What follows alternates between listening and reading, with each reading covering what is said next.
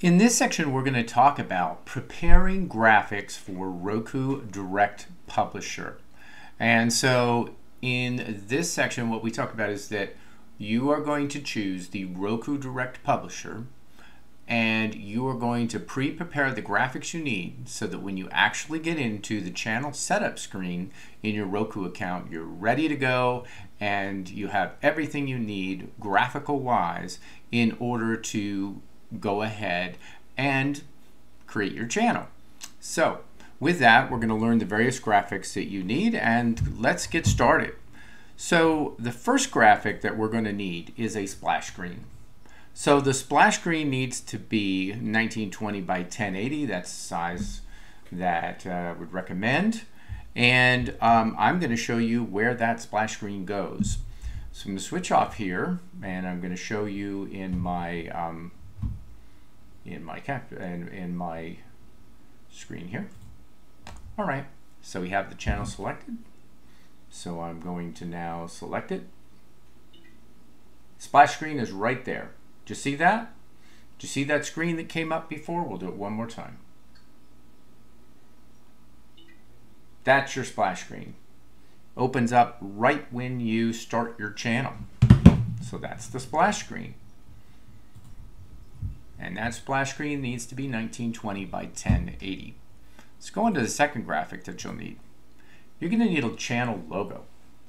That channel logo is going to need to be 400 by 90. It's going to need to be a JPEG or a PNG file.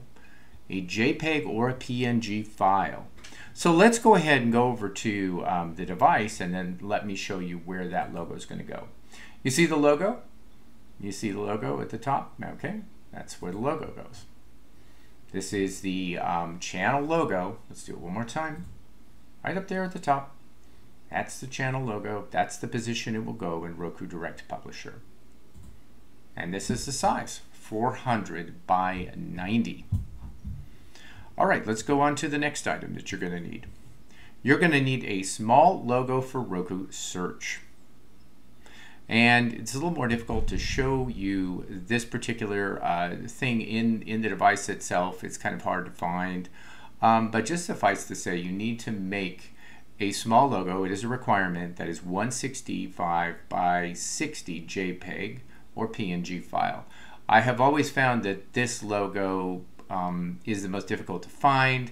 Um, I don't even know if this is really actively used, but Roku still has it on the requirements list. So I just would create a logo 165 by 60 JPEG and prepare that logo um, for input.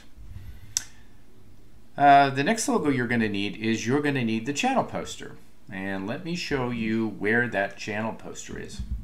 So I'm going to go back here and I'm going to show you now.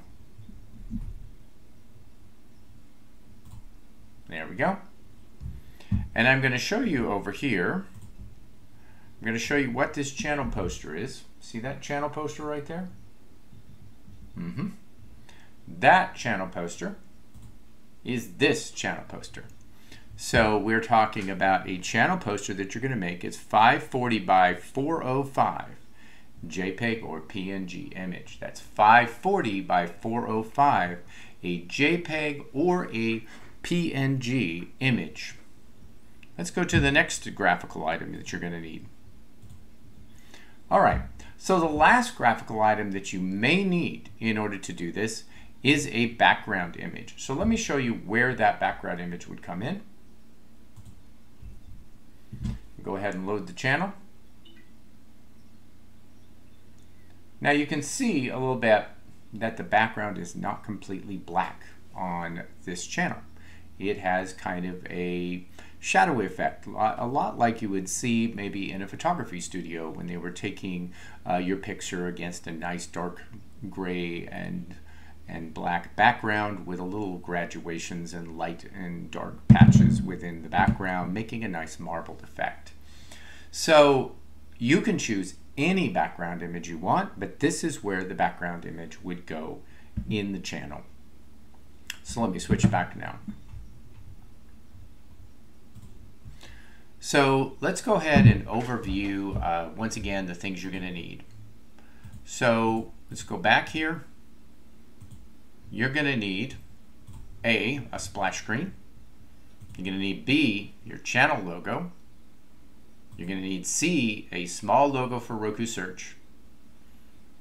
And then you're finally going to need a poster for your channel. And you're going to need a background image. These are all the items that you need to prepare uh, in order to move forward and have all the pieces and parts that you need uh, for the channel. All right, we're going to move on to the next section now.